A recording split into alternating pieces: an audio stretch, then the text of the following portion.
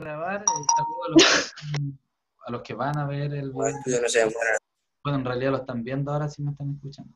Como así. Oye, eh, ya, de la semana pasada. Dos cosas.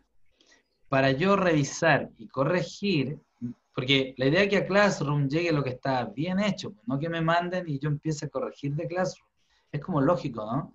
Porque cuesta un montón para mí corregir de Classroom. Tengo que ir al compu, abrir un montón de cuestiones, abrir cada cosa. Y si usted quiere que le corrija, como el Santiago que me insistió 80 mil veces, después mire tu trabajo. Mándame una foto, pues le saca una foto al compu, ahí. Y yo de inmediato se lo reviso pues, y, le rayo donde está malo y le voy enseñando. Entonces, para hoy, como vamos a volver a trabajar con Excel hoy y la próxima clase, ¿cómo me van a entregar? Con foto. ¿Dónde? Al WhatsApp. Y cuando usted vea que su trabajo está listo, súbalo al Classroom y le va a quedar guardadito al archivo.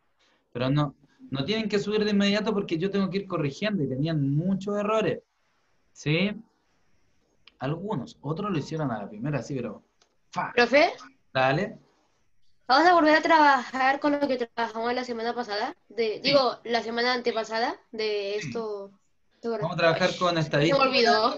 Solo que le voy a incluir una parte de probabilidad y algo más a la tabla. Y eso lo vamos a ver de inmediato. Bueno, entonces, Pero voy a hacer la tabla de, de esa de la, la F.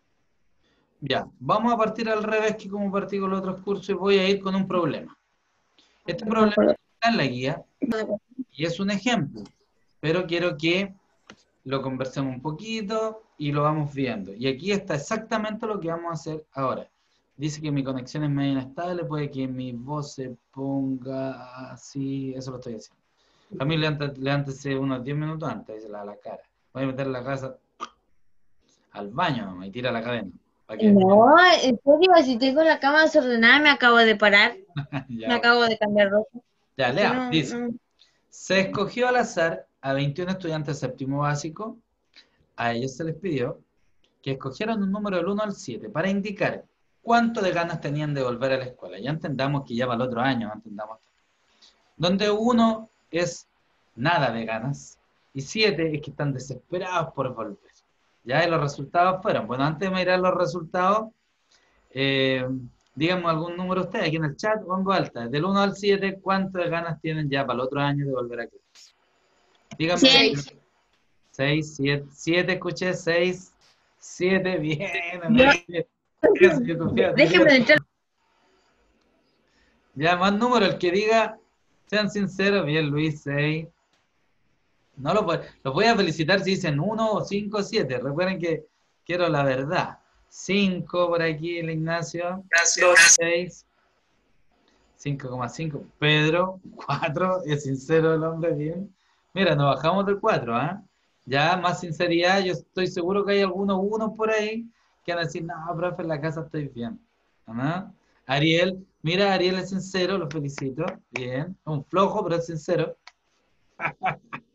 ¿Qué más? Siete.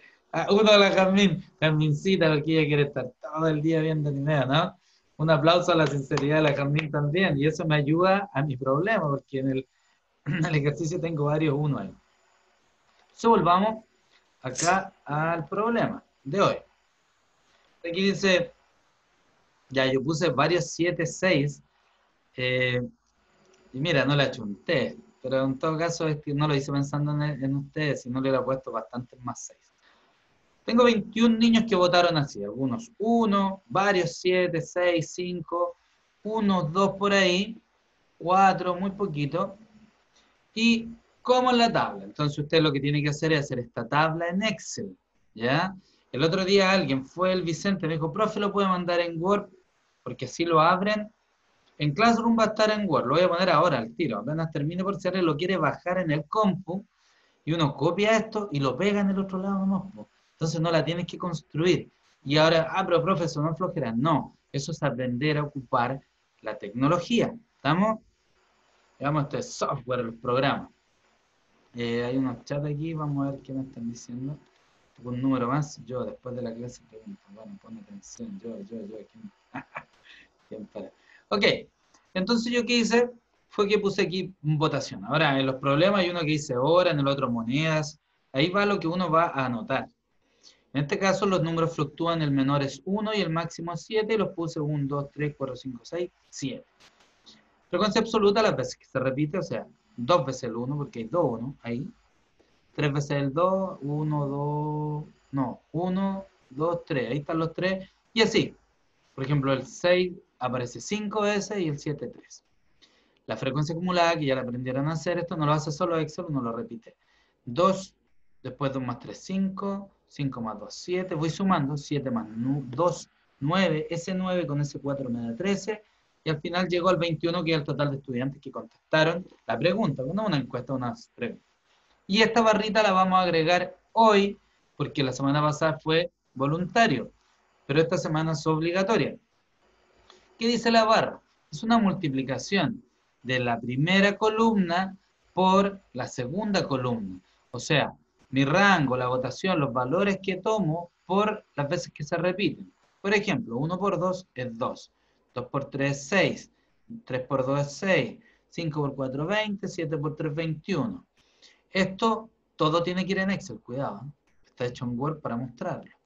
De aquí para abajo sumé y luego yo puedo calcular el promedio dividiendo ese 93, que es la suma total, por el total de niños que son 21. Entonces dejo de compartir y vamos a Excel. Libro Excel 1, ya ahí quise yo, tomé la tabla, la copié y le borré unas cosillas, las de acá, para ir haciéndolas en Excel. Entonces esta parte la tiene que hacer usted porque aquí dice votación, me quedó re fea. ¿eh? Aquí se puede arreglar así, mira. La hacen más acá, pincha aquí, y ahí me cae de votación, y ahí va a quedar bastante más bonita. Esta quedó muy grande, vamos a achicar. Votación por frecuencia absoluta. Entonces, la frecuencia acumulada, entonces yo voy diciendo, el 2 lo repito ahí, 2 más ese 3 son 5, 5 más 2, 7, 7 más 2, 9, 9 más 4, 13, 13 más 5, 18, y finalmente 18 más 3, 21. Esta es la que me interesa. Tiene que aprender a hacerla hoy, nos concentramos. Voy a poner un igual primero. ¿Por qué? Porque si yo pongo un igual, Excel va a entender que es un resultado. Si no pone el igual, le va a fallar. Luego, voy a multiplicar ese, el 1 por el 2, pero mira, Excel lo puede hacer. Si yo la pincho, Excel lo va a poner de inmediato. B5. ¿Qué voy a hacer? Por el asterisco del computador significa por para Excel. ¿Por qué lo voy a multiplicar? Por ese, por el 2. Pero que es C5. Observe. B5 por C5. Dale.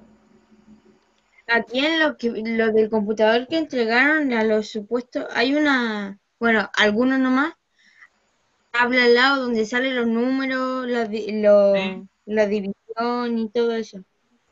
No, el asterisco está siempre cerca del, del enter, ¿sí? Que está en el otro lado.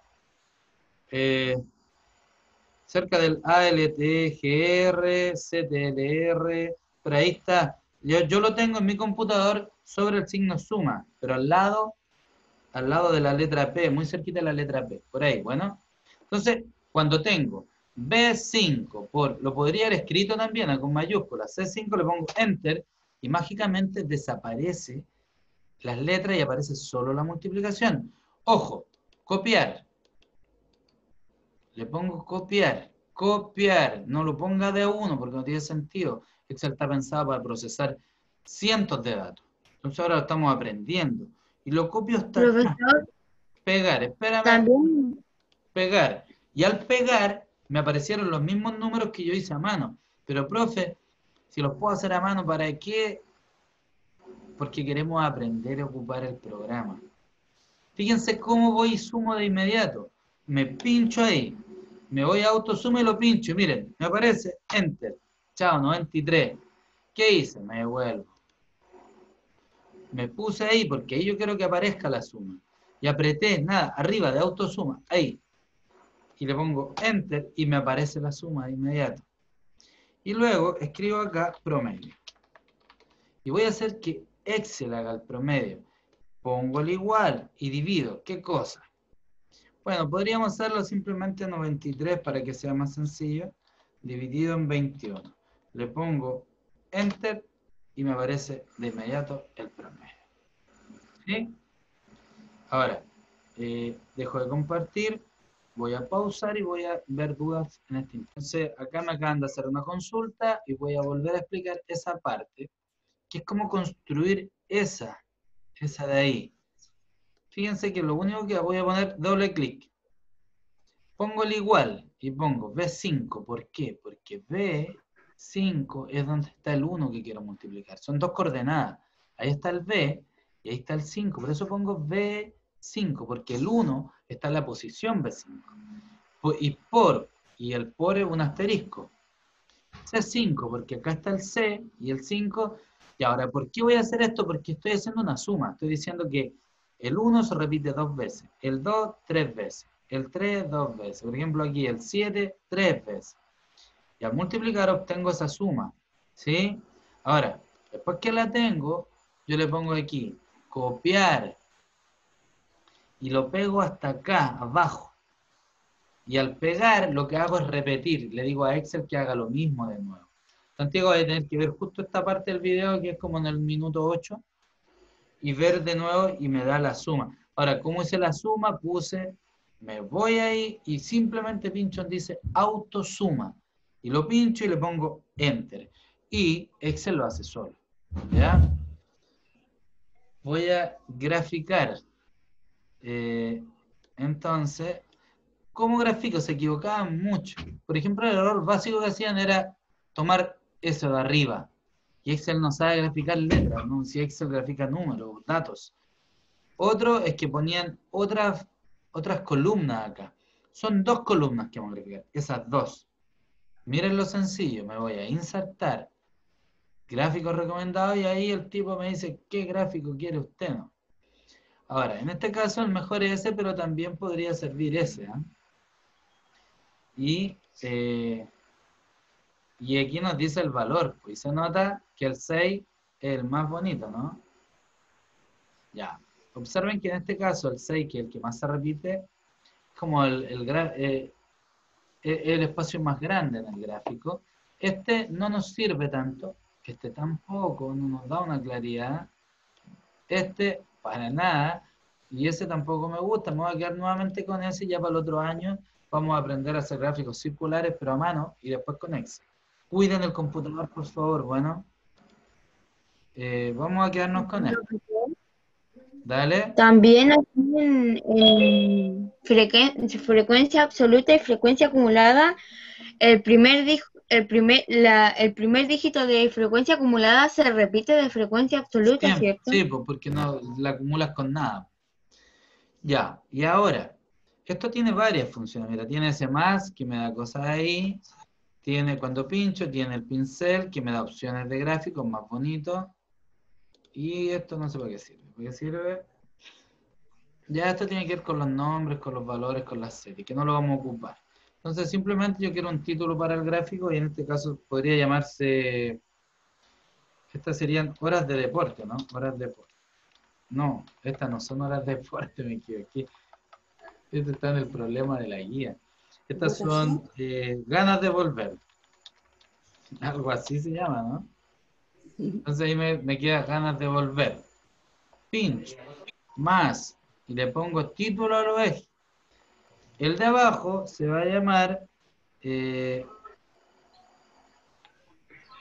votación, le puedo poner, ¿no? Y el de aquí se va a llamar frecuencia absoluta. Uno podría graficar la frecuencia acumulada, sí, es bastante útil ese gráfico, pero no alcanzamos a hacerlo, pretendo hacerlo ya para el otro año. Ojalá es presencial. Tal vez volvemos a clase así como en mayo, como junio tal vez, y ya podemos trabajar bien. Entonces, y finalmente lo voy a mononar un poquito para que se vea más bonito, así como el profesor. Y este me gustó hoy, lo vamos a dejar ahí. Entonces, ese es mi gráfico de hoy. Tenemos el promedio, tenemos el gráfico y nos faltan dos cositas más. Voy a dejar de compartir, voy a poner en, continuamos la grabación y vamos a la guía de hoy y la voy a explicar. Entonces ustedes son de quinto o de sexto. Ay, ok. No lo alcancé a ver. Ya, aquí está la guía de matemáticas séptimo básico. Vamos a leer. Puse en grande, porque la vez pasada hubo gente que me mandó los gráficos hechos a mano. Y no tiene sentido porque los ejercicios no son tan complejos, lo que estamos persiguiendo es que aprendan a usar Excel. ¿Sí? Y además, por ejemplo, aquí hice 200 veces hacer esto, va a quedar un número alto, no sé. Veamos. El ejercicio 1, respondiendo a la pregunta de Luis. Lo que hice recién fue un ejemplo que va a quedar en el video. Y ahora vamos por los dos ejercicios que les corresponde hoy porque no hay tecnología. Dice, uno, se encuestó a 41 estudiantes de séptimo básico preguntando cuántas horas hacían alguna actividad física, como caminar, correr, jugar o deporte diariamente durante esta pandemia. Los invito a pensar también cuánta actividad física, como jugar, como andar corriendo, pegándole al hermano, que son cosas normales que deberían hacer ustedes. ¿Algún número? Entonces dijimos cuántas horas de actividad física. En el chat quiero ver, hagamos un minutito de esto, es necesario. Quiero ver el chat y quiero ver valores, seamos sinceros. ¿Cuántas horas de actividad física están haciendo los estudiantes? Yo tengo valores ahí, vamos a ver si coinciden. Les estoy preguntando que pongan en el chat un número de cuántas horas de o correr, o caminar, o jugar. Ya dos, le puso la Vale, bien. Dice que hace patinaje en hielo. ¿Qué más? Los veo escribiendo ahí. No es en cemento. Ah, en cemento. Podría ser. Tres horas Santiago, cero horas Jamín. Mira, empiezan a coincidir mis números. Tengo unos dos, unos tres, cero. ¿Sí? Bien, Jamín, esa actividad física la va a mantener, pero bien. Mira, el Vicente dice que juega bien. El, Vicente es súper No, yo estoy entrenando. Duro entrenando una hora y media de día por medio. Así que no me moleste. Ah, ya bien. Entonces algo hace, póngale una. Una hora caminando.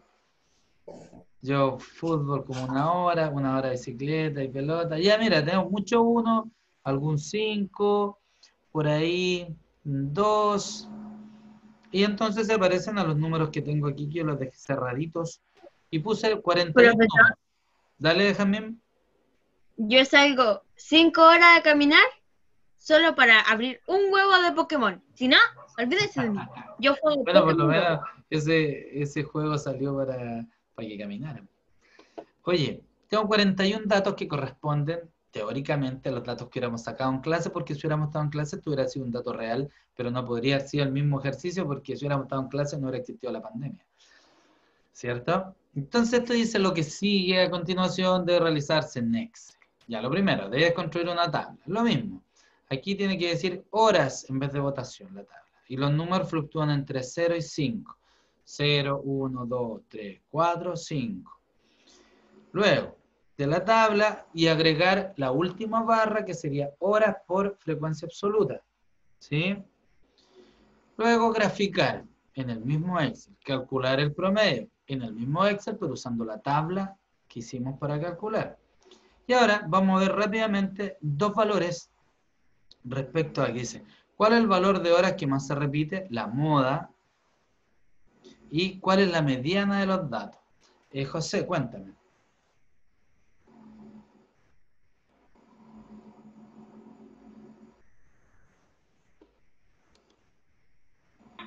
No, profe, perdón, es que me equivoqué. Ah, ya, dale, no, no hay problema. Voy a ver el tema de la moda y la mediana al tiro, déjeme terminar acá, pero veamos esta parte. Eh, la segunda parte sería la de las monedas. Para esta actividad necesitas dos monedas que sean diferentes, ya la hemos hecho. ¿Sí? Si son iguales, póngale la un 1 y un 2. Entonces yo le puse moneda 1 y moneda 2. Para mí la moneda 1 es la de 100 y la de 2 es la de 50. Entonces, ¿Qué puede pasar? O sale cara a cara, o sale cara sello, sello cara, o sello sello. Y eso está mal en la guía, lo tienen que cambiar. Ya, ¿y qué tendríamos que hacer? Empezar a tirar. Ya, la tiré. ¿Cuánto me salió la primera? Ir haciendo un conteo en una hojita de su cuaderno. De tal forma que después de tirar 200 veces, yo pongo acá cuántas veces me salió nomás. Ponte tú que me salió 45 veces cara a cara. Cara sello me salió 32 veces. Entonces aquí pongo lo final nomás, ¿sí? después que lo tiré la cantidad de veces y las anoté, para eso tienen que tener anotadito aquí. Yo tengo ahí, no sé, sello, sello, cara, sello, sello, cara y cara, cara. Entonces aquí uno las va anotando como usted quiera, ¿no? ¿sí? Entonces, después que yo terminé de lanzar las 200 veces, quizás van a demorar como 25 minutos. En el primer ejercicio se demoran 10 minutos, pero el segundo se los di un poco más atareado para que se demoren más. ¿Qué tiene que hacer? Hacer la tabla y graficar. Y responder esas dos preguntas que están bastante sencillas. Entonces, finalmente vamos a ver el tema de la moda. Ya, esto eran las ganas de volver a la escuela, el ejercicio que teníamos recién. Y aquí entonces teníamos varios números, algunos dijeron uno, otros dos, y la mayoría estaba entre 5, 6 y 7. ¿Cuál es el que más se repite observando el gráfico solamente? El Dígalo. 6. El 6, ¿cierto? Por lo tanto, uno puede decir que la moda es el 6. ¿Por qué? Porque la moda es, lo más, es, el dato que más se repite. ¿Sí? La moda es ver anime. Ah, todos ven anime. Ah, la moda es hacerse, andar con eh, ese peinado que todos se hacen así, que se rapan aquí y se dejan aquí. Ah, ok. O sea, por eso la moda es algo que se repite. Ya, ya lo hemos visto. Entonces, en el gráfico es muy fácil observar la moda. Es la barrita o la sección más grande. ¿Estamos? Y finalmente vamos a ver la mediana. ¿Quién recuerda qué es la mediana?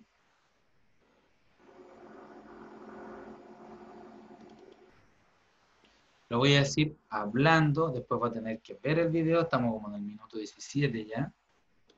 La mediana es el dato central.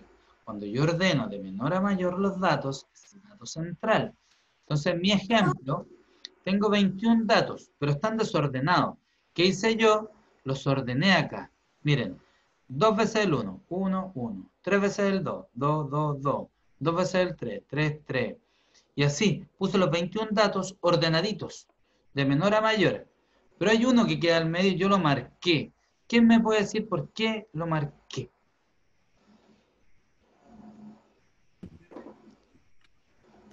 Hay 21 datos y yo marqué ese. ¿Por qué? Porque esa es la mediana. A ver. ¿Luego está el medio? Ya, ¿y por qué está al medio? ¿Cómo me lo puede asegurar matemáticamente que está al medio? Porque Está, está, correcto está lo que dijo la tomando- Vale, ¿ah? Bien, Vale. está, está tomando los de menor a mayor. Ya, pero hay algo, Y la un, fundamento mucho más fuerte de por qué yo puedo asegurar que está al medio, porque la Vale miró y dijo, se ve al medio, ¿cierto? Ya, pero hay un fundamento matemático. ¿Por qué está al medio? Son 21 datos.